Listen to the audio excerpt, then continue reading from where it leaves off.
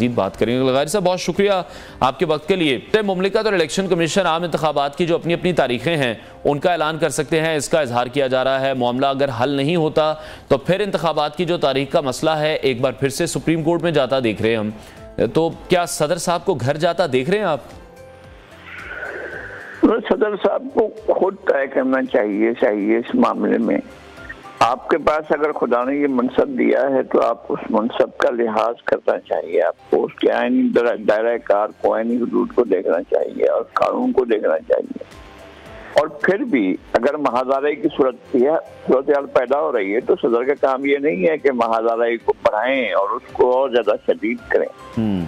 और वो ताकत के मराकज की तरफ़ पुष्ट करके खड़े हो जाएँ और कहें कि जी मैं तो अपनी मनमानी चलाऊँगा या मैं अपने पार्टी की बात चलाऊँगा हम्म। उनको पता है कि उनकी पार्टी जो है वो 9 मई के बाद के हालात से वो पाकिस्तान में एक बहुत बुरे तरीके से लोगों के सामने बेनकाब हुई है और और उसका एक चेहरा ऐसा सामने आया है कि लोगों को उससे घिन आती है हम्म। उन्हें रिकन्सिलिएशन की तरफ़ जाना चाहिए था उन्हें डायलॉग की तरफ़ जाना चाहिए था उन्हें आगे बढ़कर ये कहना चाहिए था अपनी लीडरशिप से कहना चाहिए जी आप रिट्रीट करें आप पीछे आए और आपने ये गलत किया है और डेढ़ साल से जो कुछ किया गया वो सब गलत था हम्म। ये गलत था कि जी मैं बस ये कर दूँगा और मैं फुला कर दूँगा फुला कोई भी नहीं करता है अल्टीमेटली हम्म। अगर मुल्क का नुकसान होता है तो कौन जिम्मेदार होगा एक दूसरे की तरफ़ उंगलियाँ उठाएँगे हम्म। और खुदा ना खास्ता ये तो मुझे खतरनाक हालात नज़र आते हैं और मुल्क ऐसे हालात की तरफ़ जा रहा है जहाँ पर ज़्यादा तसादम जो है वो ज़्यादा नुकसानदेह हो तो लगारी साहब जिस जिस तरफ़ आप इशारा कर रहे हैं वो तो हम देख ही रहे हैं कि अगर मामला हल नहीं होता चीफ इलेक्शन कमिश्नर से नहीं होता सदर ममलिकत से नहीं होता मामला अगर सुप्रीम कोर्ट में चला जाता है इससे पहले भी फिर हम देख चुके हैं कि कोर्ट्स की वाजे हिदायत थी। उसके बावजूद भी पंजाब और के पी में तो इलेक्शन नहीं हुए। इदारों के दरमियान भी उलझन है तनाव की कैफियत अभी भी बरकरार है। तो ऐसी सिचुएशन में अहम फैसलों पर अमल दरामद कैसे होगा? इंतहाई तकलीफ़ दे बात है कि सुप्रीम कोर्ट ने भी इस महादाराई में हिस्सा लिया है। हम्म। इंतहाई दुख की बात है इंतहाई तकलीफ़ की बात है। और फिर इलेक्शन भी नहीं करवा सके? सुप्रीम कोर्ट ने कब कहा है कि फुलान तारीख को इलेक्शन करवाओ? चौदह मई की डेट दी गई थी। चौदह मई की जो डेट दी थी वो चौदह मई की डेट नब्बे दिन के अंदर तो नहीं थी ना। हम्म। जब नब्बे दिन का ये मौजूद था ऑप्शन कोर्ट के पास जब कोर्ट ने खुद फैसला दिया यको मार्च को और अभी उस यको मार्च के बाद चवालीस दिन बाकी थे उससे ज़्यादा वक्त बाकी था। तो कोर्ट को कहना चाहिए था कि भाई आप ठीक है बावन दिन की दस नहीं पूरी हो सकती है तो आप जो है इसके अंदर चौदह अप्रैल को इलेक्शन करवाएँ। हम्म। तो आपने उनको खुली छूट दी थी कि जी जनाब आप इलेक्शन की डेट का ऐलान करें डेट का ऐलान किया गया और खुद ये कह रहे हैं कि नवे दिन के अंदर इलेक्शन करवाओ। तो नवे दिन तो चौदह अप्रैल को पूरे हो रहे थे। फिर सुप्रीम कोर्ट ने इस मामले को और ज़्यादा बढ़ाया।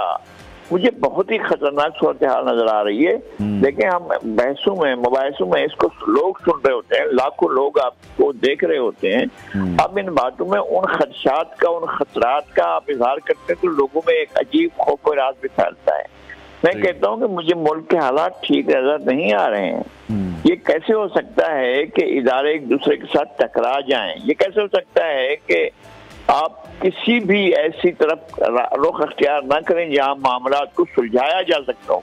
मामला को इदारे उलझा रहे हैं। हम्म। सुप्रीम कोर्ट ने मामला को सुलझाने की तरफ़ कोई पेशकदमी नहीं की बल्कि और ज़्यादा मसाइल पैदा हुए हैं।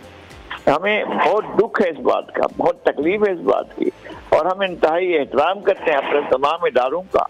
अगर वो इदारे उनके अंदर ये दिल और जज्बा आ जाएगा। उनके अंदर अगर सियासी वापस्तगी आ जाएगी अगर उनके अंदर अपना एक ताल्लुक खातिर आ जाएगा अगर वो अपने अपने किसी एक तरफ़ को देखकर फैसला कर रहे होंगे और अगर अपने दूसरी तरफ़ को नजरअंदाज कर रहे होंगे और आप इश्यूज़ को बिल्कुल इग्नोर करते हुए और अपने अपने किसी अपने किसी भाई खा के लिए या जिसके आप भाई खाए उनके लिए अगर फैसले कर रहे होंगे और और, और नहीं देख रहे होंगे कि मजमू सूरत हाल कहाँ जा रही है? हम्म। तो फिर इस तरह के मसाइल पैदा होते हैं।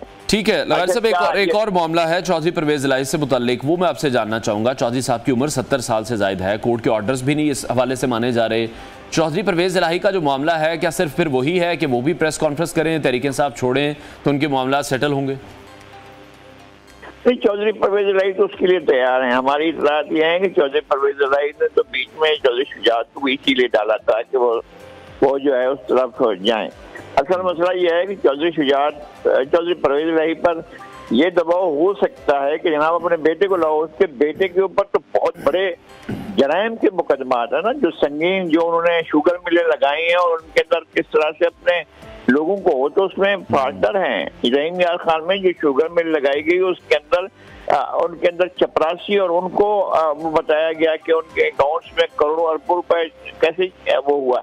बहुत सी चीज़ें हैं जिनकी जवाबदेही करनी है मोनेस को और मोनेस सारे हालात को खराब करके तो वो चले गए हैं मुल्क से बाहर। वो स्पेन में बैठे ऐश कर रहे हैं बाघ जो है वो यहाँ पर इन मसायल का शिकार हो रहे हैं। वो तो चाहते होंगे शायद के सुलह कर ले। उनका कभी भी इस तरह का पस मंजर नहीं रहा है कि वो जनाब स्टैब्लिशमेंट के सामने या किसी के सामने अड़ कर खड़े हो जाए। असल मसला ये है मुनिस का मुनिस ने हम्म। सारी तबाह कौन सूरत हाल उसी की पैदा की हुई है हम्म। कहाँ वो जाते हुए कि जा रहे हैं एक तरफ़ को और फिर उसको बेटे के हुक्म पर जो है वो बनिगाला ले जाया गया और फिर सारा मामला पलट दिया गया ये सारे उस वजह से पैदा हुए हैं और जिन लोगों ने पैदा किया है मुझे ये लग रहा है कि मजमू तौर पर उन्होंने सोचा समझा हुआ है कि मुल्क को नुकसान पहुँचा रहा है और मुल्क हम्म। मुझे खतरनाक खतरनाक इमरान खान कह चुके हैं कि जी, ये मुल्क जो है इसके तीन टुकड़े हो सकते हैं वो। खुद कह चुके हैं। तो मैं मैं मैं मैं समझता हूँ कि अगर मुल्क का एक इंच भी जाता है तो हमारी हमारी ज़िंदगी का ये सानिया हमारे लिए नाकाबिल बर्दाश्त बिल्कुल ऐसे ही एक तरह का एक सानिया हम पहले भी भुगत चुके हैं। लगारी साहब जिस तरह से पाकिस्तान तरीके साहब बैन अवी कोर्ट्स में जाने की कोशिशों में लगी हुई है सियासतदान तो जेल बड़े धड़ल्ले से काटते हैं ज़बरदस्त तरीके से काटते हैं। चेयरमैन पीटीआई की कैद को तो अभी सिर्फ़ चंद दिन का मामला है। इतनी उजलत का मुजाहरा क्यों किया जा रहा है? और उन आलमी अदालतों में किसके खिलाफ केस करने जा रहे हैं? रियासत के खिलाफ। मैं समझता हूँ कि वो उस खेल का हिस्सा है जो पाकिस्तान में नुकसान पहुंचाना चाहता है। मैं सीरियसली हम्म। मैं इंतहाई संजीदगी साथ कह रहा हूँ कि वो उस खेल का हिस्सा है जो मुल्क को नुकसान पहुंचाना चाहता है। मुझे इस बात की तकलीफ़ है दुख है कि एक मियाँ वाले का रहने वाला शख्स मुल्क के खिलाफ इतने बड़े गहरी साजिश में किस तरह से एक बयाना बनाता है और फिर जो है वो इस तरफ़ जाता है। खुद कह चुका है कि मुल्क की टीम से और फिर खुद मामला को आलमी कोर्ट में भाई आप अपनी कोर्ट में लोगों ने नहीं किया है क्या? लोगों ने जिंदगियाँ गुजारी हैं जेलों के अंदर भाई खान अब्दुल गफार ने ज़िंदगी गुजारी। और जब जीएम सेहत का इंतकाल होता है उस वक्त भी वो नजरबंद थे यार। हम्म। और उन्होंने ज़िंदगी सारी गुजार दी लोगों ने नजरबंदी में लोगों ने कैदों में। रसूल परिजो ने जो है वो आठ साल नौ साल जेल गुजारी। जान साकी ने नौ दस साल गुजारी। आसिफ अली जद्दारी ने जो है वो बारह तेरह साल जेल में गुजारे। और हम्म। किसी जुर्म के बगैर किसी जुर्म के साबित हुए बगैर लोगों ने गुजारे हैं जेल।